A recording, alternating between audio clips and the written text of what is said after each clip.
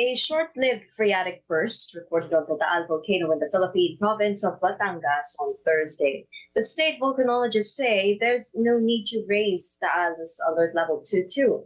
Let's get an update on the situation there from the head of the Batangas Provincial Disaster Risk Reduction and Management Office, Dr. Amor Calayan. Good morning, Doctor. Thanks for joining us. Yes, good morning. Good morning, Ms. Vicky. Good morning, everyone who is who are watching here and uh, who is watching here, and to all those people who are uh, uh, immensely uh, listening to your station. Thank you. Right, pleasure having you here, ma'am. So uh, first off, the, as we uh, reported earlier, Taal made this short-lived phreatic burst at its main crater yesterday. Tell us whether or not this is a cause for concern and why.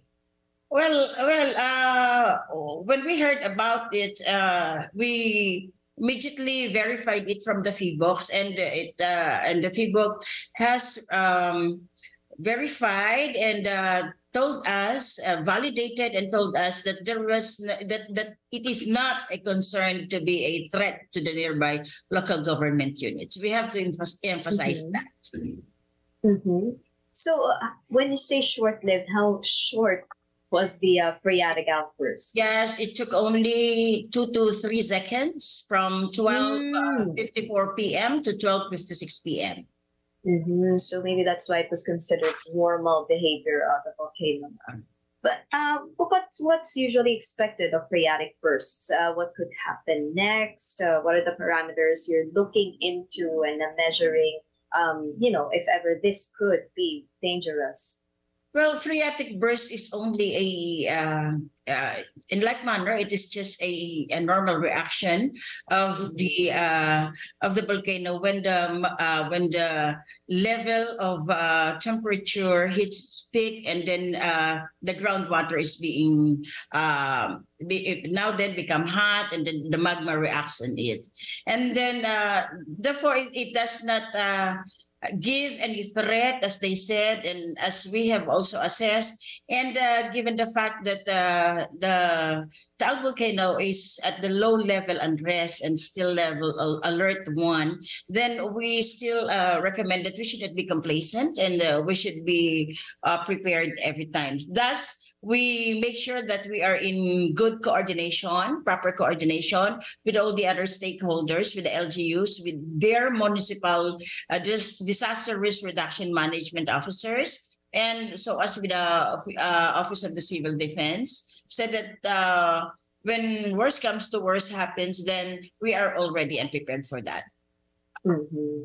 And uh, Dr. Amor, how is Taal right now, and how are the surrounding areas?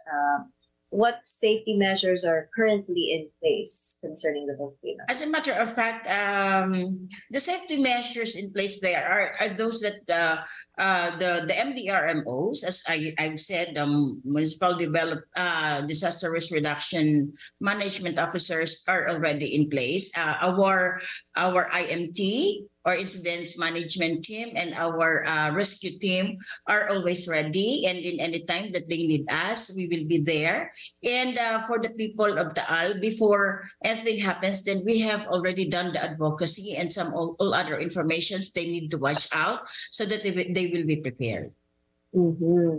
but uh, how long do you think uh, this should be monitored intensely or closely uh, concerning Taal um I do not have any uh, in uh, in my mind. I don't have any any time any time that uh, we should be stopping monitoring because it's still Taal even last mm. Uh, Taal still uh, at low level unrest at the alert level one then we still have to monitor and any activity of Taal then we have to monitor it so therefore we are on 24/7 monitoring all the time all through years and uh, even the time and until the time that the Taal volcano is still uh, at low level unrest Mm-hmm. That's reassuring to know, Doctora.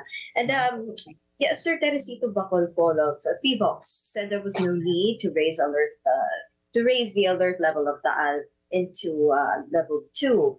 So, um, what does this mean? This will this trigger preparations for evacuation from hazardous areas as well? You know? Uh we considered everything depending on the um, on the announcement and uh, verified information from PHIVOLCS. If they said that we have to prepare now, then because the activity might cause eruption, then uh, we will uh, we will uh, abide and comply with their re- with their recommendation, and then we will be preparing as we are already prepared with all the other pre- repositioning of foods. We have also talked with the other LGUs. We have come to the to the arrangement of the people, the, the pickup points and the and the and where to place the people as their as we have identified already the evacuation centers of each municipality.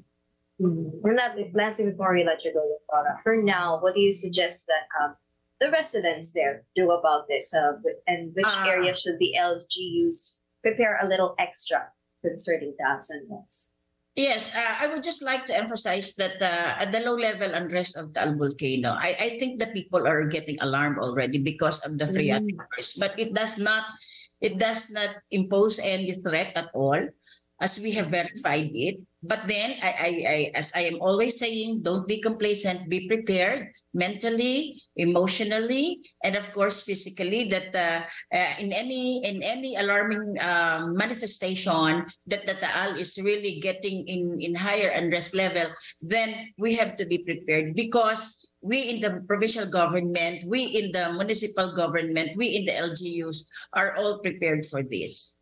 And we are um, anticipating what will happen. And uh, so at least preparedness and mitigation means a lot for every people, for every lives of the people, the animals, and the plants. Thank you. All right, we'll continue hoping for the best. Thank you for joining us this morning, Dr. You stay Thank you. safe and thank you for your time and your insights. Thank you. Thank you very much. Good morning.